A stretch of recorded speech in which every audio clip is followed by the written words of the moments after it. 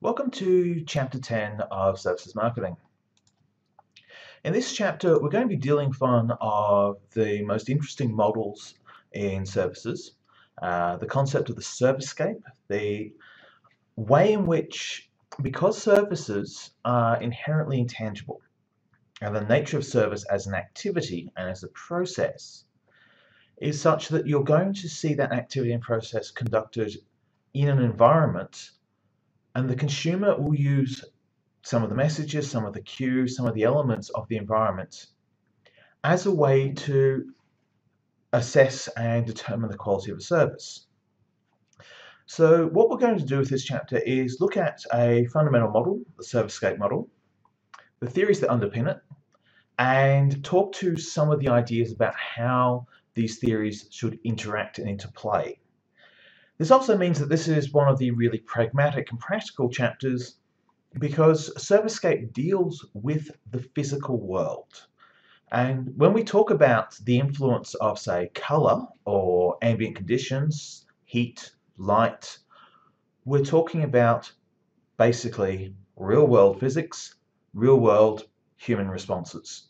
There's a lot of work that's been done in this area, so if you are interested, there's a series of research expansion packs to check out.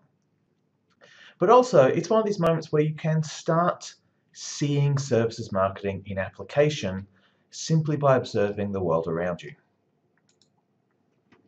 So, the purpose of the physical environment in service is to send a message. If you think about walking into an office, if you're walking into an office of a law firm, start picturing that, the visual image, the mental image. What are the physical cues and traits you're expecting to see? If the traits are there, what message does that send? If the physical elements are not there, what message would that send? So absence and presence of objects in the servicescape sends a message. You think about the way we lay out McDonald's, you walk into the McDonald's, there is the lighting, the visual, the aroma, the actual vision into the kitchen, uh, the so you can see how things are progressing, speed, processing, that people are working back there, stuff's being cooked fresh. All these things are messaging. So when we look at this, the physical environment sends a message. You can use the physical environment to, create attention, to draw people in to a service encounter. For example, you walk past, uh, you walk through a shopping centre, the design of a store, is it designed to draw you in as a casual passer, as foot traffic, or is it designed to catch your eye and get you to look at the displays in the windows? Has the store extended itself out into the environment so that you've got racks of discount merchandise? So whilst your eye is originally drawn to the bargain, you're drawn into the store to access other aspects. How's the physical world used to trigger cues and responses? Third on the list then is the experience. And this is where the physical environment as an experiential. When you walk into a store, that store is trying to create value for you so that you'll exchange, you'll give them money. But what if the store itself is the environment? Take, for example, Disneyland. The whole design of Disneyland or Dreamworld or a nature park, nature walk, walk in the forest, look around the campus, the physical way the campus is laid out to create an experience, to create a sense and a sensory experience. So the whole idea inside this is you've got three purposes. When you're designing your servicescape, are you sending a message? Are you drawing attention? Are you creating experience? And does the servicescape add value? And does it add value that's worth enough that people will exchange money for it? If you actually consider the idea of something like a nightclub, where the cover charge to simply get through the door, you're paying for access to the servicescape and then hoping the servicescape delivers the experience you're looking for. Again, as with uh, all of the services marketing at this end of the chapter, you're looking also here how does this theory and this framework into play with what we've already covered? So there are two models here, the Mehrabian-Russell stimulus response model and Russell's model of affect. Read the chapter. This is a co-creation time. This is, and this is the heads up. Those two do make a cameo appearance in the exam, so you do have to address them. There is there are points to be scored from them. But also, this is one of these things where I want you really to engage with the text, read it, have a look at it, but also then be willing to go off and maybe track down, have a look at what has been done with either of these two models. So this is a good actual opportunity to just personal exploration Put in the Mehrabian-Russell stimulus response model into Google Scholar. Search for Russell's model of affect. See how it's been used. So not just the text, but expanding beyond the text. All right, now we're going to talk over one of the best big models in the business. The Servicescape model, Bitner 92, uh, freely admit I am a complete fan of this model and really love the work Bitner's done here. It's also early 90s research was still a time where you could put big conceptual frameworks like this out into the market and they were quite successful. So there are component elements to this model to talk about and what I want you to understand is that this is a way to see the world. We start from the, we can start at either end of the model you can say what is the behavior that we want to achieve. So you can start with a goal and a metric.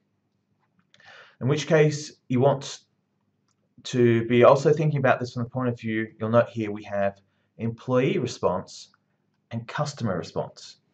So we've got an external and an internal. The internal is what type of staff member do we want to have in our service, what type of person do we want to have working for us? Will the environment we design enhance their ability to work for us? Will it will attract customers?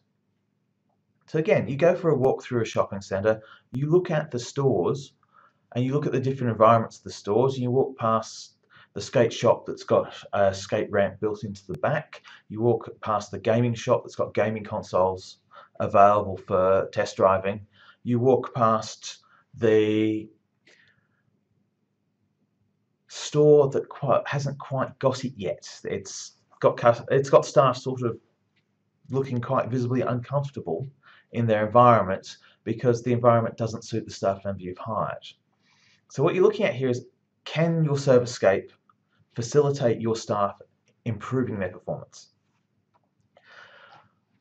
Similarly, what you also want from a Servicescape is will it attract the right type of customer?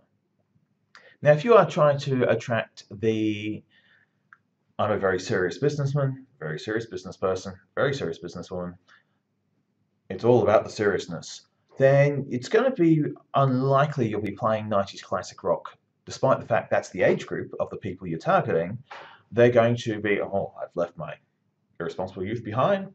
Your soundtrack is going to be sort of Vivaldi, and a bit of a bit of a carry on, but it's designed to encourage approach behaviors. People go, oh, that that's the sort of place for me.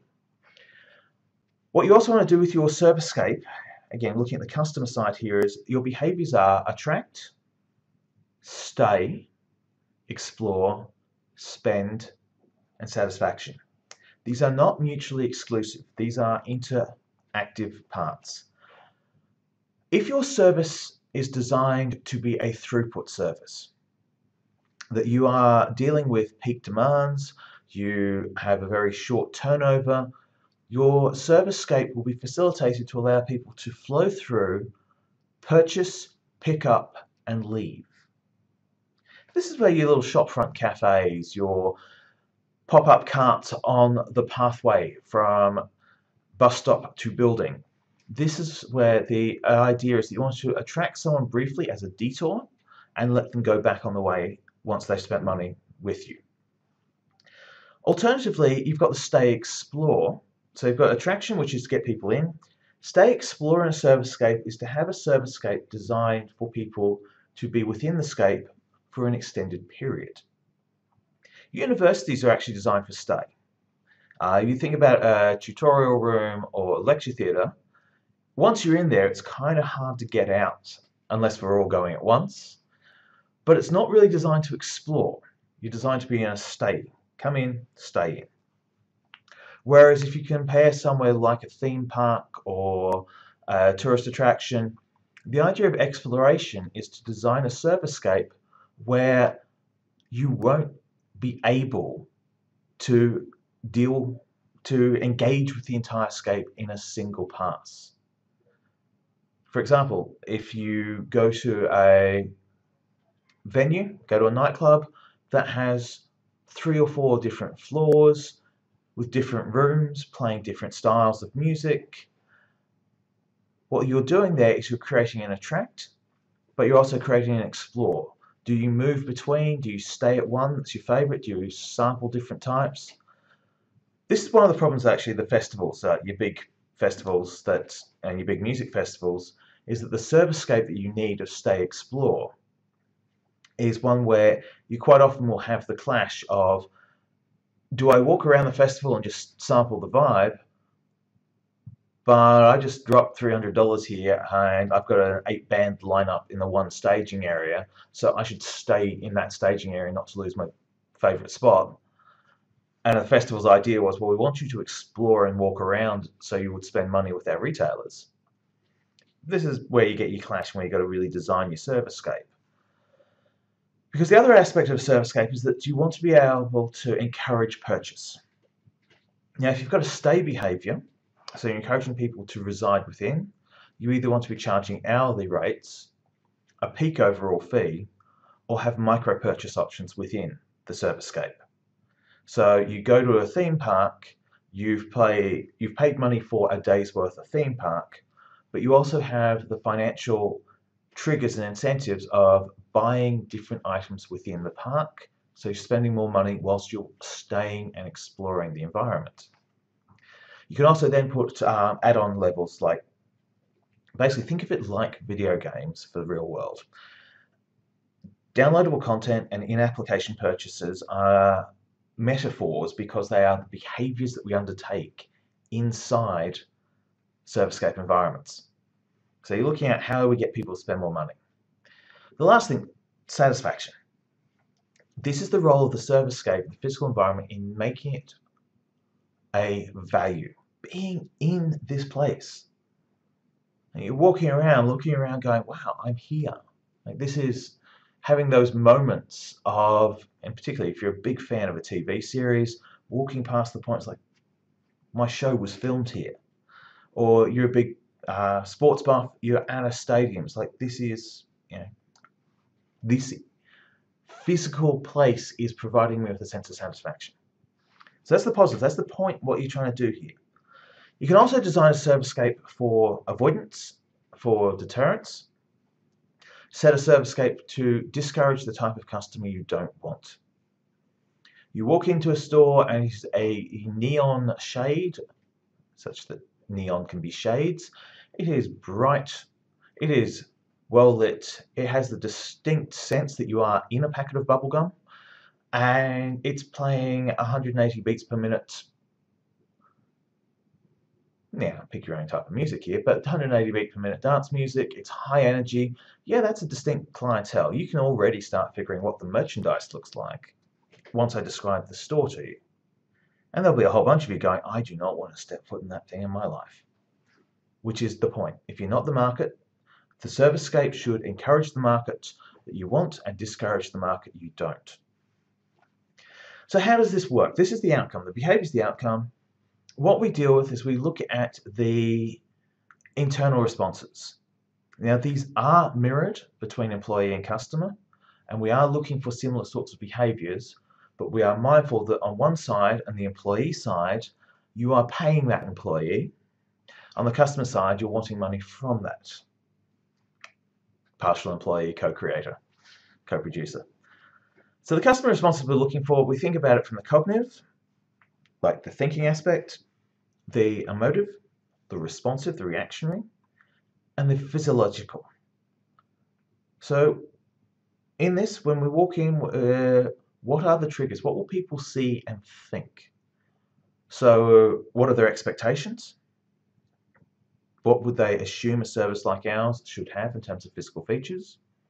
You walk into a massage parlor for sports massage and it's got sports memorabilia everywhere and it's got signed jerseys and it's got thank you notes from football stars saying thank you for extending my career another six weeks it's got every is like you're looking at that you're already forming a belief about the service based on the trigger in the room around you it's like wow this is a sports physiotherapy and look signed jerseys from sports stars they must know what they're doing I'm in the right spot we also have the uh, symbolic meaning. And I want to get your attention to symbolic meaning because you want to look at this. Uh, this is drawing on consumer behavior, on advertising theory, services theory. It's also because you want to be mindful of it yourself. What do you start thinking about the symbols, the icons, and the artifacts that are in the environment with you? What are you supposed to learn from them? What are the messages they're communicating to you for you to learn and think about? You then have emotive response, so environmental triggers create emotive responses. You are looking for this from the point of view of when these you encounter these particular aspects of the environment, with the environment dimensions here sitting on the side, how does that make me feel? How do I feel about myself? How do I feel about others? If you've ever walked into a store and you're just, you've got that, everyone in the store is annoying and you are having to already set your shoulders against being in this store, then you have an avoid, you're getting an avoid trigger, it's an emotive response, you can't reason why, but you know you're getting it, so you're basically, you're not the customer, you're not who this environment was designed for. Lastly is the physiological element. Now, I like the fact that pain, comfort, movement, and physical, like, can you physically fit into this environment? Uh, hello, airline industry. We've got to talk. Your things are getting smaller and people aren't. And I'm just talking here on the fact that there are more six foot something or other people on the planet uh, for five foot five for aircraft that were designed for people of an average of five foot five. If you're six foot, you occupy more cubic feet than you do at five foot, especially when you fold it. So can you physically fit into the environment? And here we think things like queuing behaviors. Can, are there enough seats? Are there enough tables? Are there enough physical area, physical points of interaction with the service to handle? Pain? All right, this is an interesting one because we can sell pain. The Tough Mudder races, marathons, gyms, we sell pain as a feature. But on the other hand, if you've come to go shopping at, uh, if you come to somewhere to say, well, the dentist tries to sell you pain and not pain, but you've gone to an accountant and you walk out with bruises, something's gone wrong. You should be getting that from your money lender, not your accountant. So again, you can't, what you're looking here is, these are the three types of responses you should be aiming to trigger, a thought, a feeling, and a physical reaction because you're dealing with an environment. And that physical reaction can also be about movement, whether you cue your environment to have people flow through it, to have them stop, to have them engage at key points, then move on. A lot of stuff in this. So lastly, coming to the back, coming to where it all begins, the environmental dimensions. Where do we start from? three key areas. Ambient conditions, space and function, sign symbols and artifacts. Now the ambient conditions, sometimes you don't have control over it. Background noise, air quality. Welcome to sunny Canberra, says the billboard on you know, a smoke haze because there's a burn off somewhere in New South Wales. Welcome to Welcome to the ski fields where it's too warm to ski. Some of those you don't get control. But in physical environments, all of these can be designed for. So you can design for temperature. As it happens, we're in a piece of uh, environment trivia is that most shopping centres, major shopping centres, during winter set to around 20 to 22 degrees and during summer set to around 15 degrees. So in fact, it's colder inside a shopping centre in summer than it is outside a shopping centre in winter in quite a lot of environments. The idea is that the, because the outer environment is going to be very warm, more people are going to come to the shopping centre so that 15 degrees plus body heat will bring it up to the temperature they're expecting or hoping for. The trouble is when it's um, a small number of people in an environment that has been calibrated for a large number, it's really cold.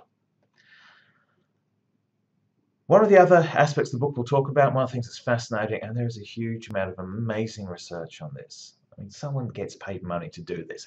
It is so cool. Scent-based marketing triggers. Somebody sat down and said, you know what? If this place smells like bacon, we're 52% more likely to get money than if it smells like pork chop. Figure it out. There's a lot of stuff on this. Go have it scouted out. Space and function, user design, we start seeing the link over to queuing behavior, we start seeing the link over to communication. You're also, with your furnishings and your equipment, trying to send a message. If you walk into a store and it is an antique store, and it's got a point of sales terminal that's running on an ancient machine, like a computer you recognize from your childhood, you're going to feel, you're going to get the message wow, this really is genuinely an antique store. That is antique tech. Now, underneath this, they could be the highest tech and most modern stuff ever, and they've got a, you know, they do their stock taking by wearing Google glasses. But so long as the whole visual appeal is consistent, so your integrated marketing communication theory of that consistency through how the space is laid out, how the function of the environment works. You're also thinking about this from the point of view of service planning and service blueprinting because the function and the functionality needs to occur. The space needs to be able to deliver the service that you are promising. And if it's a high interaction service that requires equipment, that that equipment facilitates the co-production or the co-creation. Lastly, sign symbols and artifacts. We talk a little bit more about this, but basically there is a role for each of these. But everything in a service can be planned, queued, and triggered to perform a role. So the way the signs are set up, the way messages tell you where to go, how to go, the what the uniforms and the equipment and the elements. So you walk into a restaurant, you look at the cutlery and the plating and that's going to give you a cue about what to expect in this restaurant and you may not be consciously aware that you're doing it that's the other thing a lot of this the sign symbols and artifacts is designed to facilitate without a conscious cognitive oh three forks two knives and a spoon I guess I know what's on the menu isn't something you're going to say you're going to look at it and go right how is that consistent with my experience? What have I seen? When I've been in a restaurant, had that sort of layout before, what's my experience has been? A whole bunch of subconscious processing, which will then help set your expectations, which will then be delivered on. So, we talked over the different parts. I want to briefly draw your attention to a couple of things. Music, sense, and color. So the physical ambient environment, Music is a very important aspect and one where you can tell the market segmentation and you can use music as an approach avoid. Knowing the age of your audience who is shopping or engaging your service at a particular time period lets you pick what classic tunes should be available. So people coming of age in this uh, decade will be in 30 years time so you're about you're in your early 20s now.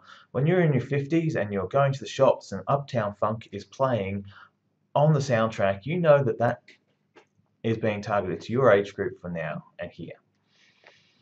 As I know, every time I get to hear Nirvana over the in-store radio when I never heard it on the radio when I was uh, in my formative years.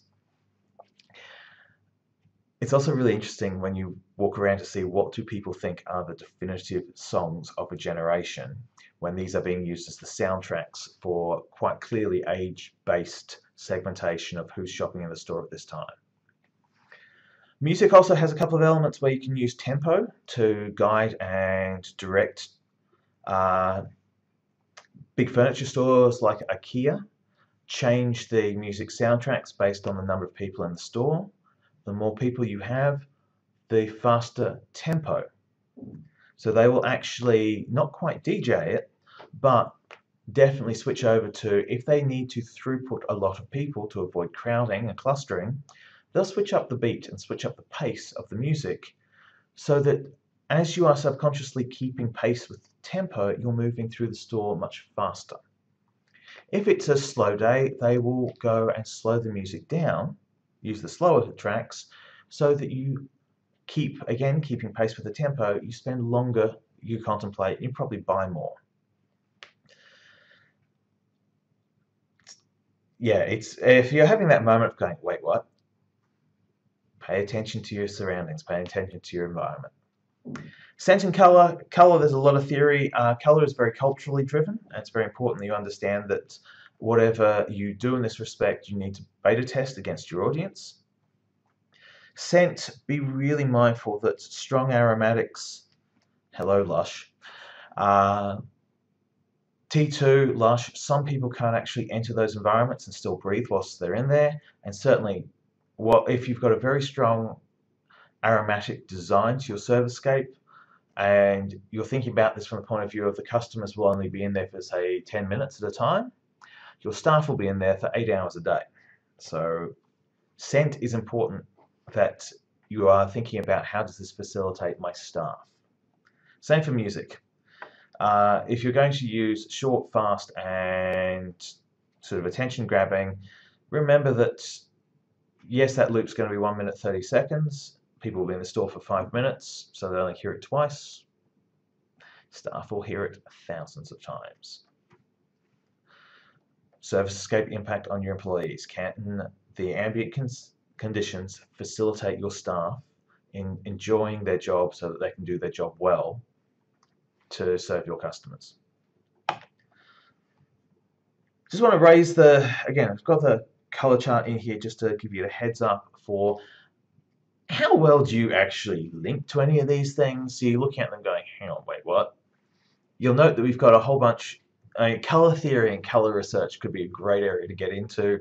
And I will freely admit that on this course, yes, I have intentionally used the color bars and color schemes so you can play a small exercise in, on this set of slides, what colors does the course use? And what message am I sending through the course there? Okay, physicality. Coming down to a couple of the uh, critical elements here. I've talked about spatial layouts. People are part of the physical environment of the servicescape, so you need to ensure that if people need to interact with each other, the servicescape facilitates that. And this is one of the things we do terribly in higher education servicescape design, is we don't quite know, we try and build multifunction venues and then hold the wrong type of service interaction in those venues. On the signs, symbols, and artifacts front, there are four roles integrated marketing communication. The physical, the map, the layout, the environment, the signs and the symbols you use need to be consistent with the rest of your branding. You might have seen those passive aggressive note things that go around BuzzFeed and the like over time with the we are a Fortune 500 company, do not use Comic Sans. Well, they're not actually kidding on that front. We're, we've got branding. IMC needs to be centrally considered. Even things like a note stuck to the door has a certain cue to it of do we was this unexpected? It's written in handwriting. Was it expected? It's on a printed logo. So it's queuing.